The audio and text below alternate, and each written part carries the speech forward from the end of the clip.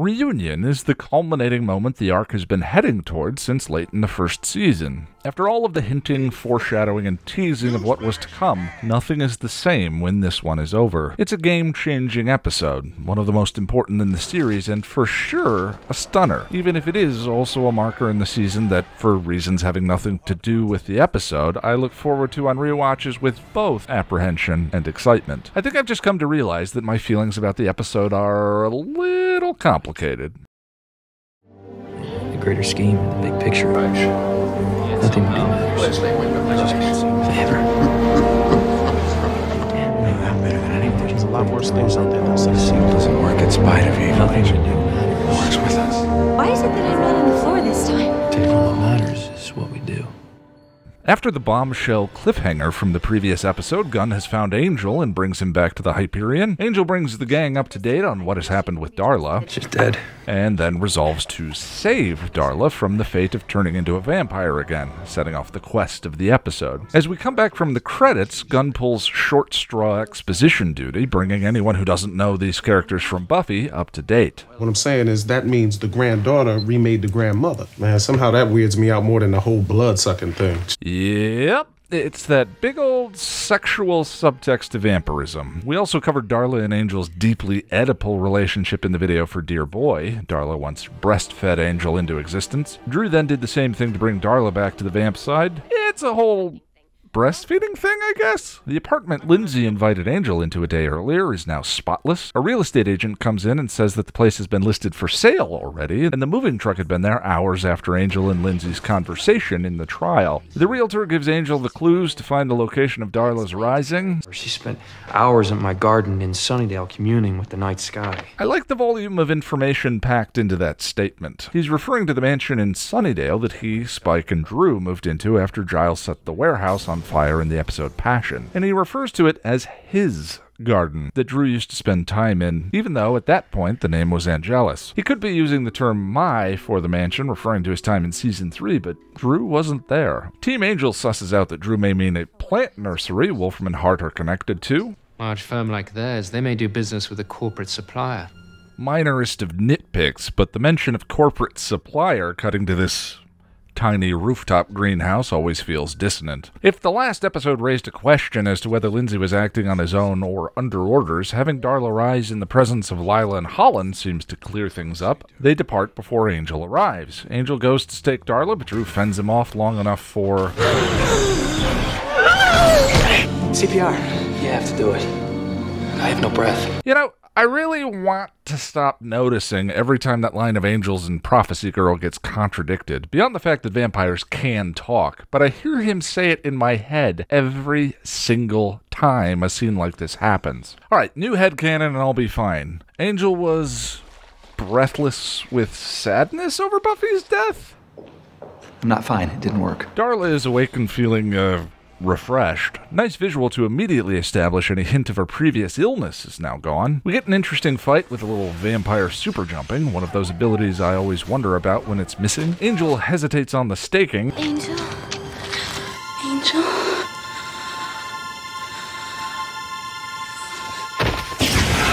And Darla takes her own leap of faith off the building. Angel returns to HQ and calls for a Wolfram and Hart assault. Cordy and Wes try to advocate for a plan, while Gunn, You admit everyone gear up. Let's go. As much as his complete lack of worry regarding his own self preservation should be a bit of a warning sign, his willingness to always back Angel up is pretty endearing.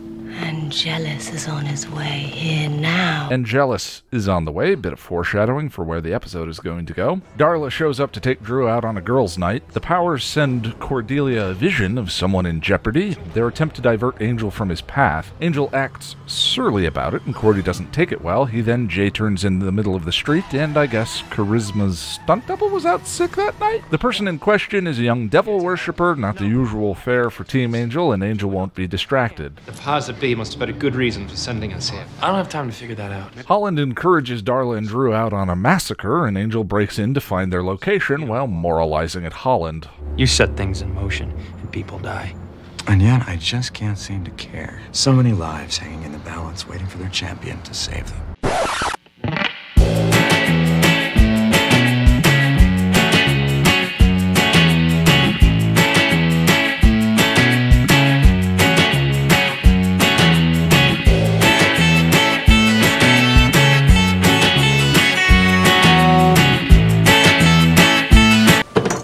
Shadow. A faceless champion of the hapless human race. A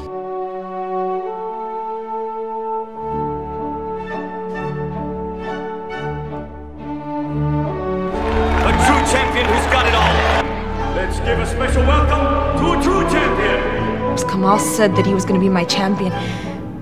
That's why she needed a champion. Where would this tribunal take place? Of course, now she's going to have to face the judgment with no champion. Where is your champion? You have no coat of arms and no champion. You have no champion. Yes, she does. The champion is defeated.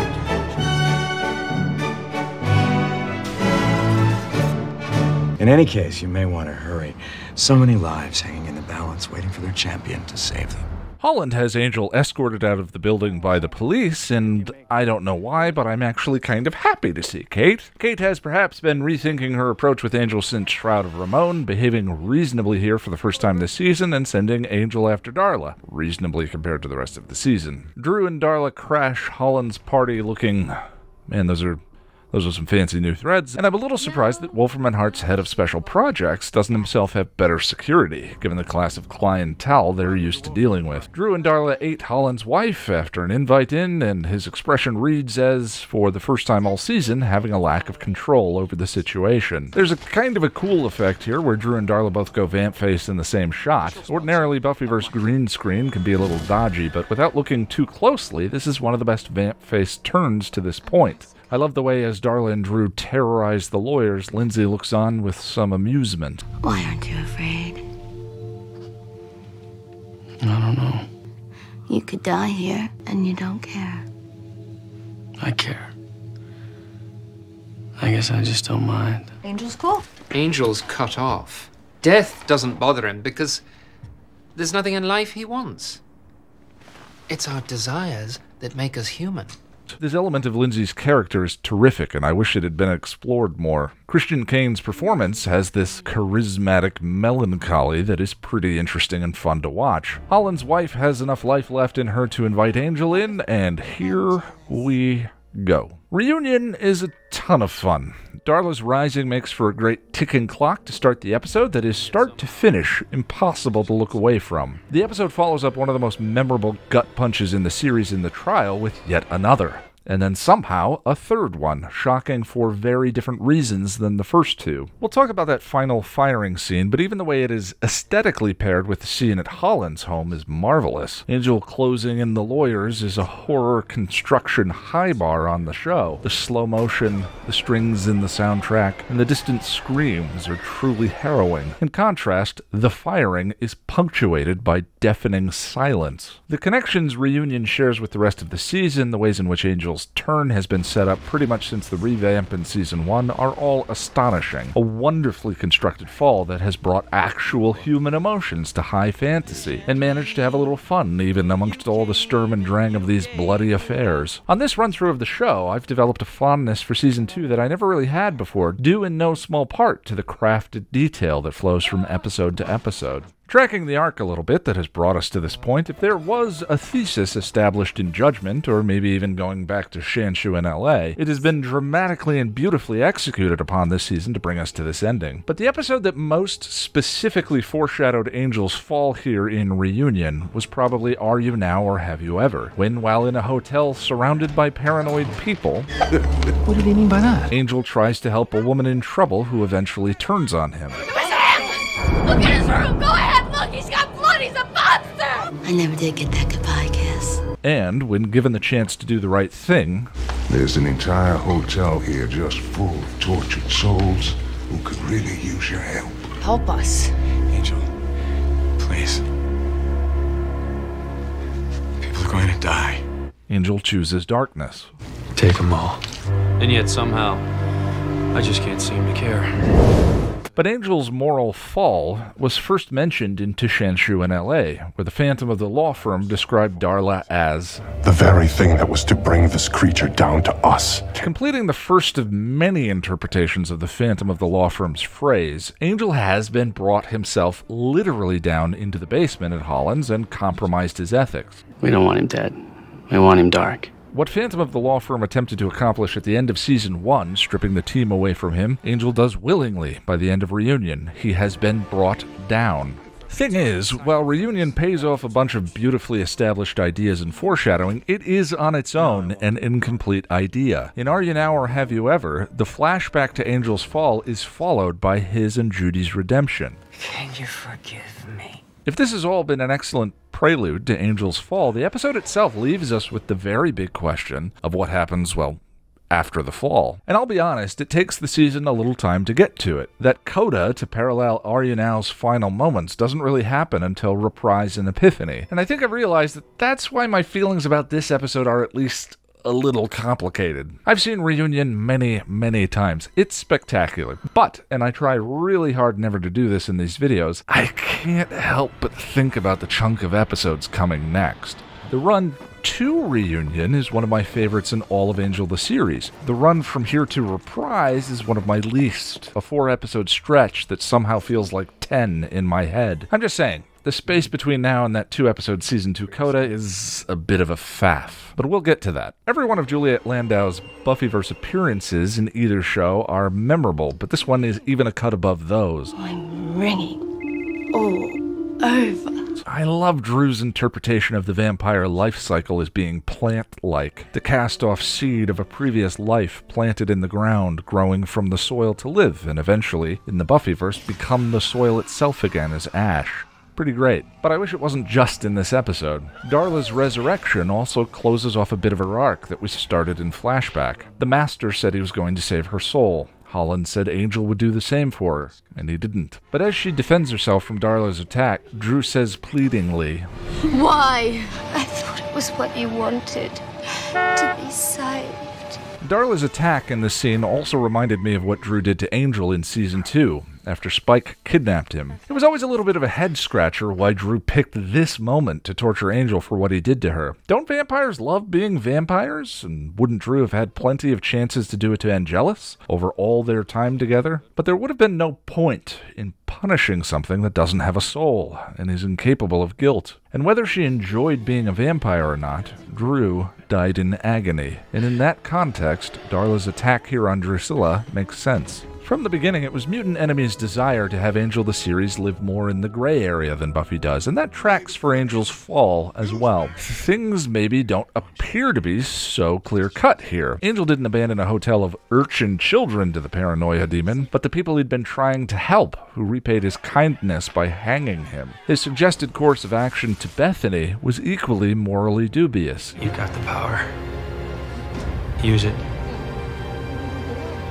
Finish it. Yes, Bethany's dad was a monster, but when Angel says this to her, Bethany already has her villainous father suspended in the air, powerless and helpless. Angel's actions in Reunion are probably the most egregious of the three, as he actually locks the doors to prevent the lawyers from escaping. Though, if you're going to go the path of philosophically justifying his actions at all, he's probably much more justified with the lawyers, given their great potential to cause mayhem with their wealth and power. His decision seems to me self evidently evil, but we can unpack it a little bit. I've actually read some online defenses of his actions from a loosely utilitarian trolley problem perspective. Let the lawyers be killed, or risk letting them kill many more people. The trolley problem, a term coined by Judith Thomson in 1976 for an older series of thought experiments, refers to an imaginary scenario in which you are faced with a choice to pull a switch, redirecting a trolley that is hurtling towards five people onto a track where it will mow down just one. Do you pull the lever? One of my favorite explorations of the question was in The Good Place, an episode actually titled The Trolley Problem. But it's a thought experiment that can take many, many forms, perhaps the most common in the 20th century being if you had a time machine, would you travel back and kill baby Hitler? But we've been pondering the trolley problem in our stories for hundreds of years. It's the question Brutus believed he was answering when he joined in the conspiracy against Caesar. In one of the most famous and affecting Star Trek episodes, City on the Edge of Forever by Harlan Ellison,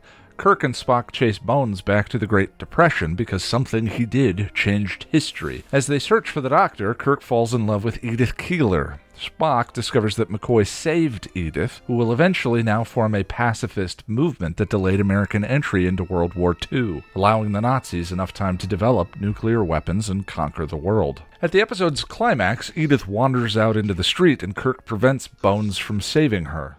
Do you know what you just did? Knows, Doctor. He knows. But as much as the trolley problem is an interesting thought experiment, applied to almost any actual practical circumstances, it's easy to see how it represents a false dichotomy. It is too reductive, it assumes too much, and the trolley is on rails. Angel is not. First, there's no way that Angel can be certain as to the future or the culpability of everyone in this room. Earlier in the episode, Holland had been telling Lindsey to make healthy attachments in his life and maybe bring a significant other to the party. For all Angel knows, this person in the background could be Willard. Willard had doubts about his new girlfriend Kathy's job at that weird ass law firm, but he typically enjoys being the sub in their relationship and didn't feel like his concerns were significant enough to do anything other than reinforce that Kathy should be the one telling him what to do in the bedroom. But though he hasn't admitted it to himself yet.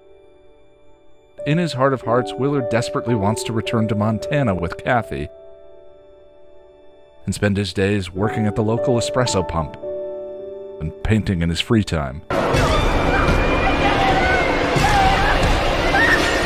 But you don't have to go that complicated with the stories of the guests. Holland's wife appears to be suffering when she invites Angel in, and he promptly aids in her husband's murder. Given how posh the party is, it seems likely that Angel doomed a caterer to being eaten. Maybe they were an evil caterer?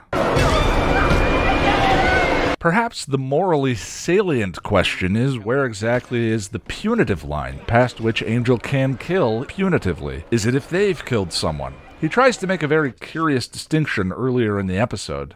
You don't kill humans. You don't qualify. Why exactly is that? Because Holland has killed? If that's the case, then Angel's redemption is moot because he must have long ago passed the murdery Mendoza line, despite Buffy telling him. You have the power to do real good, to make amends. But even if his closing the door on the lawyers was pragmatism and not vengeance, even if you did verifiably know the evil futures of everyone in the room, knowing that future paradoxically means it can't be inevitable, meaning you don't need to murder a baby to prevent it from becoming Hitler. You could drop that baby off at an orphanage in Sweden with a copy of Wer hat meinen Käse bewegt. Kirk could have taken Edith to the 23rd century and explained to her what was going to happen rather than allowing her death. He did that with the whale lady in the voyage home anyway. And unlike the trolley, Angel isn't on rails, speeding along with no brakes. He had many opportunities in just this episode alone to make different choices. The powers have been trying to change his course since the season began, but the game that Wolfram and Hart has been trying to get him to play since the end of season one is one with limited, controlled choices. It's a characteristic of abusers that we talked about with Darla in the water tower scene from Dear Boy. An abuser cultivates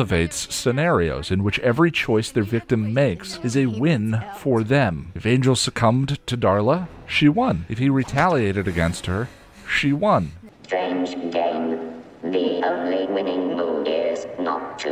Of course, much of this discussion is probably automatically moot, because if Angel's co murder of the lawyers is in any way justifiable, then this really isn't a fall he's going through, and his arc for the season breaks. The fun of the season's arc, though, is that Wolfram and Hart have never forced Angel to do anything. His moral fall, his soul sickness, occurs as the culmination of his own choices.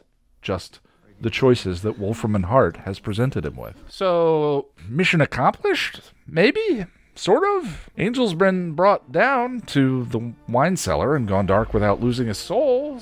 That was the plan all along, right, Holland? This time through the series, something has begun to eat at me about the show. Leading with the acknowledgement that episodes have no obligation to be entertaining more than the first time, there are mysteries about the plot that are often masked on first viewing behind sinister vagueness and mustache twirling. As the primary provider of conflict in the series, someone will ask a Wolfram and Hart boss for clarity on what the hell the plan is here. So, what is the plan exactly? And what do you expect him to do? And they'll answer with something sinister and unspecific. We don't want him dead. We want him dark. What he will do. What he must do. Save her soul. Cut. And we never go back and revisit, leaving it pretty unclear whether what Holland wanted to have happen happened. And then periodically one of those bosses eats it. Phantom of the Law Firm in season one, minor spoiler for the next episode. Holland. Holland is the head of special projects. I am division head of special projects. And everything we see him doing here is all about Angel. Special projects like Darla. Oh, Darla's just a tool.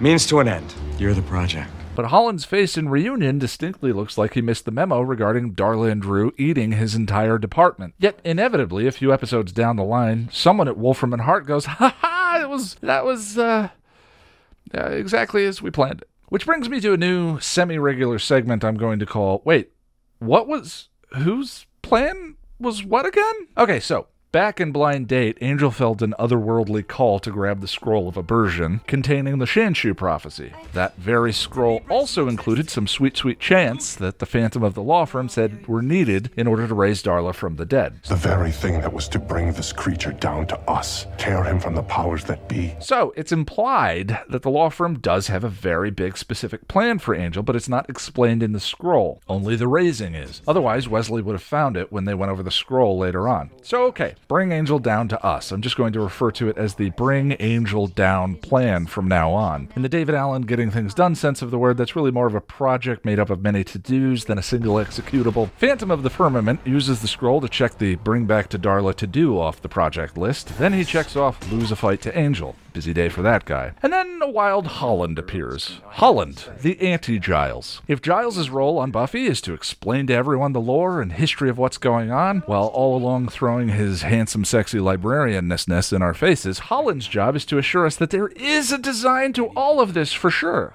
But he's not going to tell us what it is. Just look on my bowl cut, ye mighty and despair. For 10 episodes, Holland nods knowingly at each event in the season as the tick boxes continue to check off the plan. He seems very clearly informed about the way Darla things are supposed to work. Oh, she's way ahead of schedule. Along with what Lindsey will do about it based on what Holland does and does not show him. You played me. We had to make you believe it, Lindsey. Angel takes Darla to the trials, winning a life, though apparently not hers. Were the trials an intended part of the plan? Holland tells Darla in the bomb shelter that the plan was to have Angel turn her, not go to the trials, so maybe that was someone else. Jasmine. It blooms at night. But I'll get into why that's confusing when we get there. Anyway, in comes Lindsey with a cadre of men and a Dru to turn Darla in front of Angel. Dru and Darla do exactly as Holland asks, participating in a massacre. It just happens that it was Holland's. And voila! All to accomplish the end goal of bring Angel down to us. And that pretty much brings us to right now. Everybody got that? With Angel having fired his team of do gooders and through some interpretation of the phrase, having been brought down to Wolfram and Hart's level, playing their game, doing their dirty tactics. We want him dark. The question still remains why?